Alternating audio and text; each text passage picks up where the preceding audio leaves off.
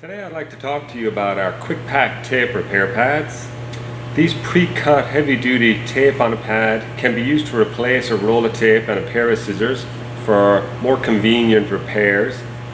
Saving time and money, these pads are commonly used to repair damaged or torn cartons while they're in the transportation distribution system.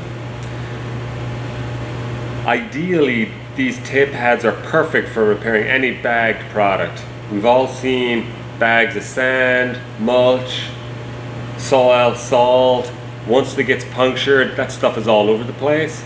And in the distribution and warehousing business, when you can run along with a tape pad, peel off one, attach it to the bag, it stops the leak, it can repair the product without having to restack a pallet or rebag the product.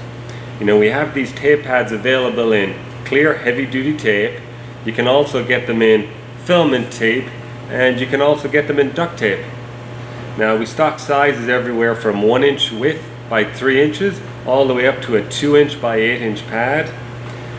You know, filament tape pads and the duct tape pads are packed 25 sheets per pad, where the clear tape are 25 sheets per pad.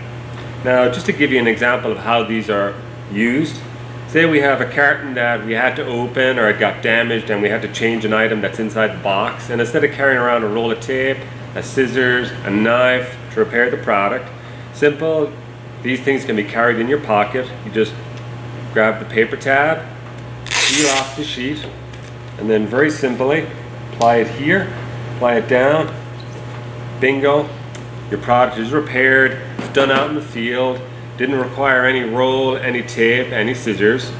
Now to get pricing on these items, they're all available at quickpackinc.com.